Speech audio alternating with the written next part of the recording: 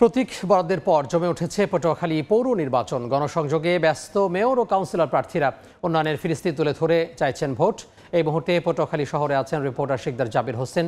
আমরা সরাসরি যুক্ত হব তার সঙ্গে। জাবির পটুয়াখালী পৌরসভা নির্বাচন অনুষ্ঠিত হবে আগামী নয় মার্চ। এ উপলক্ষে আসলে প্রচার প্রচারণা এখন জমে উঠেছে। নির্বাচনের দিন যতই ঘনিয়ে আসছে, ততই প্রচার প্রচারণা কিন্তু জমে উঠছে। তো এখানে মেয়র পদে প্রতিদ্বন্দ্বিতা করছেন বর্তমান মেয়র মহিউদ্দিন আহমেদ এবং সাবেক পৌর মেয়র ডাক্তার শফিকুল ইসলাম। তো সেক্ষেত্রে বর্তমান মেয়রের প্রতি স্থানীয়রা ক্ষোভ ঝাড়ছেন কারণ গত পাঁচ বছরে চোখে পড়ার মতো তেমন কোনো উন্নয়ন হয়নি।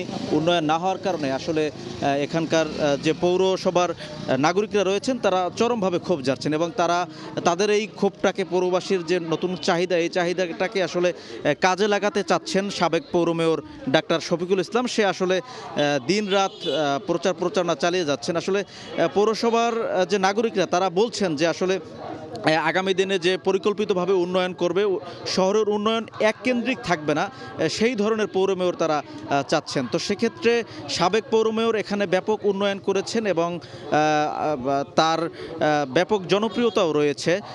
তিনি ভোটারদের দ্বারে দ্বারে ঘুরছেন, বিভিন্ন ধরনের প্রতিশ্রুতি দিচ্ছেন এবং আরেকটি বিষয় হচ্ছে সে যেহেতু একজন চিকিৎসক সে পৌর মেয়র হওয়ার আগেও চিকিৎসা দিয়ে মানুষের পাশে থেকেছেন, সেক্ষেত্রে মানুষ ঐক্যবদ্ধভাবে তার পক্ষে কাজ করছেন। আরেকটি বিষয় হচ্ছে যে, পটুয়াখালী পৌরসভায় প্রতি বছর বর্ষা মৌসুমে কিন্তু ব্যাপক জলাবদ্ধতা সৃষ্টি হয় আর এই জলাবদ্ধতা সৃষ্টির পেছনের মূল কারণটা হচ্ছে আসলে এখানে নদী দখল নদী দখল করে বাড়িঘর নির্মাণের কারণে এই জলাবদ্ধতা সৃষ্টি হয়। আর এই নদী দখলের সরাসরি এখন বর্তমান যে মেয়র রয়েছেন মহিউদ্দিন আহমেদ, সরাসরি নদী দখলের সাথে তিনি নিজে জড়িত রয়েছেন।